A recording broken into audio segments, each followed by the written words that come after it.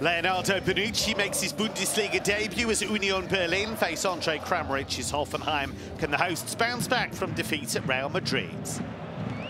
It's Kramaric, all dragged down by Bonucci, penalty.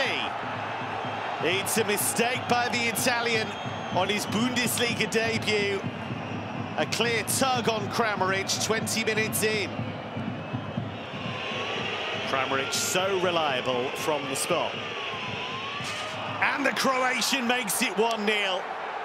He's taken 30 penalties in the German top flight. He scored 26. Hoffenheim are chasing a fourth straight league win. They're playing well, gorgeous ball to find Grisha Prömel, the former Union player. And Beier! He's extended his scoring streak to four matches. 2-0 at half-time, nothing the injured Rani Khedira can do. Is Sheraldo Becker leading the charge for Union.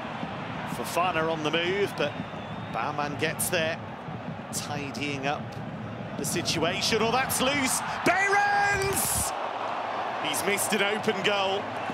What a chance for Kevin Behrens, and what a let-off for Oliver Baumann, who was nowhere near his goal.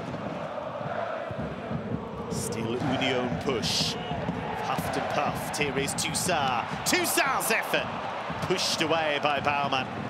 It's a smart save there. To the final five minutes, here's Fofana. Fofana! Again, Baumann to the rescue. Fofana has been excellent since coming on as a sub. The winning streak is extended for Pellegrino Matarazzo and Hoffenheim, but a bitter end to a tough week for Union Berlin.